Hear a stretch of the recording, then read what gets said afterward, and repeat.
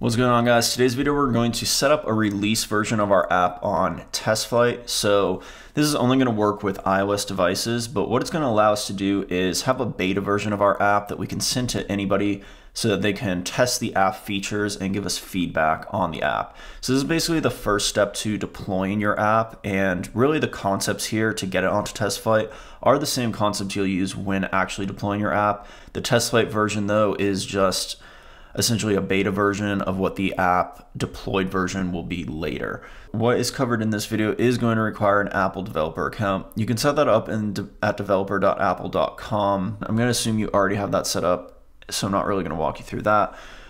But now you can head on over to the uh, account dashboard and the first thing we're going to want to do is check that we have a bundle ID registered for our app.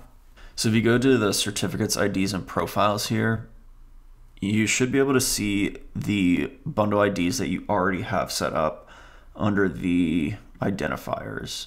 This bundle ID here is going to be the bundle ID that's used in Xcode. If we open up our project in Xcode, if you go to the runner tab over here and then click the runner target, you can see what your bundle identifier is on this project. The one I'm using for this current version is travel budget one. So if I go back over to here, I'm really looking for that travel budget one, which is right here. If you don't have the bundle ID here, if it's not showing up, you're going to want to go into Xcode and change it here, and then you'll be able to, it'll generate it and save it into your iOS account. Now, if you do change your bundle identifier here, you're going to need to change stuff in Firebase. You would need to regenerate this Google service info.plist file because that is referencing this bundle identifier. So once you've confirmed that that bundle identifier is there, you can actually go to the App Store Connect. And the App Store Connect is going to be where we actually create our app that's ready for the App Store. Creating it for the App Store is the same thing for TestFlight we're going to want to go to this My Apps here and create a new app. And this is going to be iOS only. I'll call this Travel Treasury Test because I've actually already set this up for what will be the real version of the app under Travel Treasury. So this is just to demonstrate how to set this up. Primary language is going to be English for me. And this is the primary language of the app. Then it's going to ask you to choose the bundle ID. This is where you're going to want to make sure you choose the same bundle ID that you have in your Xcode project. So mine was the travel budget one. The SKU is really just any unique value for your for your app. So I'll just do travel treasury test. User access, full access is what we'll go with. And then it's going to hit, and then you want to hit create here. And this is going to create that app in your App Store Connect. This now here is the dashboard for this app, and there are things that before we deploy the app, we're going to have to add. But what we're interested in in this video is the test flight feature. So getting test flight set up, we're going to need a build to be uploaded. And all that means is we're going to have to have a compiled version of the app on this App Store Connect so that we can actually use it to distribute to people through the test flight app. Let's jump back into Xcode so that we can get that build set up. We're going to want to review a few settings real quick. The version and the build number, since this is the first time we're, we're actually building a version of this, you can just leave these as what they are. But do note that once you build a version of the app, the next time you build it, you do need to increase this build number or change the version number because you can't have the same exact build numbers on App Store Connect. This all looks good. I changed my device orientation to be only portrait, so this will fix some issues with turning the screen. One thing to note, if you are using AdMob at all, you do want to make sure you have your proper AdMob ID set up. During development, you're normally going to want to use those test ad unit IDs, but we are going to basically be prepping this to deploy right now. So you want to actually make sure you switch back to your actual ad unit IDs. For me, I'm just going to leave the test ones because this is not actually going to be my production app. But if you're doing this, you're probably going to want to switch these to be the actual production ad unit IDs. So back in Xcode, we're going to be creating a build archive and all that means is it's going to be a compiled version of this app that can run on really any iOS device or iPhone device for that matter. So normally when you run through Xcode, when you run the app through Xcode, you're going to choose the device you want to run. But in this case, we want to build this any iOS device, which is just going to be a compiled generic version of this build that then can be used on essentially any of these devices. And that's important because when this goes on the App Store, it needs to be able to work on any of these iPhones. So once that's selected, you're going to, up in the top navigation here, click on the product and then click archive. This is actually going to be creating a version now of that build and archiving it to your Apple account based on your Apple ID. And this is the same account that you'll be using in your App Store Connect. So it's actually going to allow you to send it directly from Xcode to that App Store Connect setup that we need. Uh, one other thing to note, and this is pretty obvious, but if you go under the signing and capabilities, this is where you'll want to make sure you're logged in as that same account as the account that you're using for App Store Connect. So you can see the team is just my name, and that's because my account is a personal account. It's not a company account. That's essentially the setup you're going to want on this on this screen as well.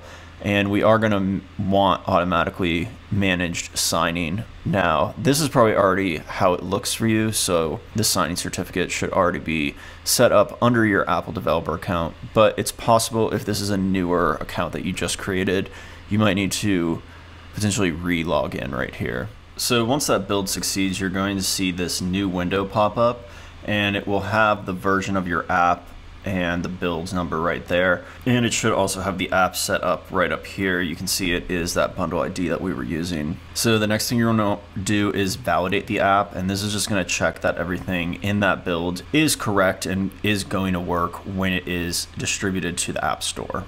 Click next on this and we're going to keep the automatically managed signing. And once you get to this page, it kind of gives you an overview of everything, and you can just click validate there. Now it'll actually do the validating. Okay, that does take a bit of time, but you'll get to this page where it says the app has been successfully validated.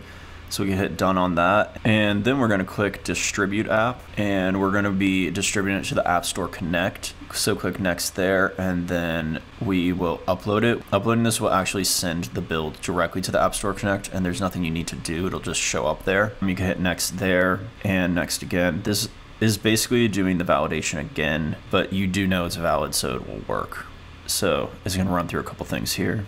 And now you'll get to this page again with the summary and it will say upload this time. So click that and it will take a bit more time to actually upload that. All right, and then you should get to this page where it says that it was successfully uploaded. All right, so even though that said it was successful, don't worry that it isn't quite in the App Store Connect yet. It normally takes uh, it definitely it normally takes a bit of time, so it could take up to like an hour for it to actually show up here. Normally it's a little bit quicker than that, probably five to 10 minutes, and it normally shows up. You should also get an email that this was submitted and that it is pending approval. This issue here that comes up, which is saying that the that it's missing a push notification entitlement. This will happen and you can ignore it if you aren't using actual push notifications. In the app that I have here, I don't have push notifications set up, so this this error slash warning is not actually relevant to my current app, but if you are getting this and you are trying to set up push notifications from an external source, then you are going to need to fix this. While we're waiting for that, I'll show you how to add other users' email addresses so that they can get invites to this beta version of the app. You can see over here on the left-hand side, we have the internal groups and the internal group right now is really just going to be the account that we are on. So you can add testers to this, but the testers are really just going to be it's your only options here are going to be the accounts that are associated with your App Store Connect account. So if you have a company account, you could potentially have more users here. But for me, it's just going to be mine. You're going to be able to test this without having Apple reviewing your build. So you'll be able to get a test version a lot quicker. Now, external groups are really anyone else that you want to send this beta version to and have them test it. So this is something you're most likely going to want to do and probably the point of doing your test flight beta in the first place. So you can create a new external group and we can call this, you know, beta testers, or you can call it whatever you like. And then down here, you can add some testers. So you can see there's a couple different options. You can add testers if you have a whole CSV and you want to import a bunch of testers, you can do that. Uh, I'll just add a new tester and I'll use my one-man startup email for this and then I'll just put my name and we can add there. So that looks good. Uh, our build is still not available here, so we're still gonna need to wait for that. You'll notice over here on the test information there is a warning sign, so go ahead and complete all of this information here. It is going to be required because this beta app review information is information that Apple is going to use to verify your build. So Apple does check these builds that you're submitting. All right, and I did just get an email saying that the App Store Connect build has been complete. So we go back into our beta testers here for the external group. You can now add a build here, and probably we're just gonna need to refresh this page because it should be available now. We click add a build, and there is that build that we just created. So we're getting a warning of missing compliance. So hit cancel on this and go to the App Store up here. And I believe we just need to select the build right here and then hit done. Now it's going to ask you if your app uses encryption. My app does not really use encryption. I don't know. There's different ways you can answer this. I'm going to hit no for now. Uh, you'll see there's a lot more you can read about it here there is some legal stuff as well to read right there, but I'm just gonna hit no and click done on that for now. Uh, now the app is set up on our main App Store tab. So if we go back to test flight, we should be able to add that. You can see we have this one ready to submit. So if we go to our beta testers and add a build here, we should be able to click that and hit next. And then this is just at, this is just a note you can leave to the actual beta testers that will tell them what you want to test. So the basic setup uh, V1 test and submitting that for review. This will actually take a little bit of time as well to be reviewed by Apple again, but once that is reviewed by Apple, you should get an email or all these all these testers should get an email automatically if you want to test it yourself, you can go to the internal users and then this is already set up here. So now I'll show you on my phone what this looks like.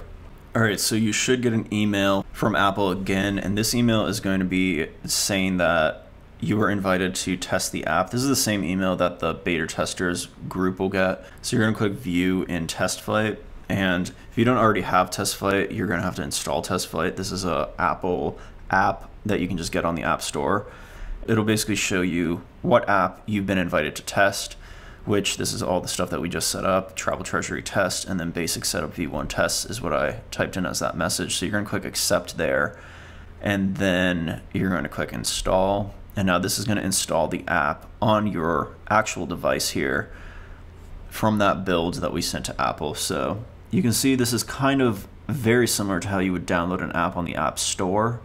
And really that's what you're doing. You're downloading this through TestFlight, which is basically Apple's version of, uh, of beta testing. So once it's downloaded, you can click open and you'll see you'll get a couple more notes from the developer and it'll give you information about how you can share feedback, which this is useful if someone is using your beta version of your app and they want to give you feedback, which is really the only reason they should be using the app is to kind of test it, give you feedback. They can take screenshots directly in the app and send them to you. Um, but anyway, hit start testing and you'll see right there, you get the app. And I'm already logged in because I'm already logged in on my device from when I was testing it before, but typically you the user would not be logged in when they first download it. All right, great. So now you have your app set up on TestFlight for iOS so you can get all your friends that have iPhones to test the app and get you some feedback on what they like, what they don't like about the app, how usable it is. In the next video, I'll be talking more about getting that feedback and how to use it to your advantage. But that's going to be it for this one. Hope you enjoyed. All right, ciao for now.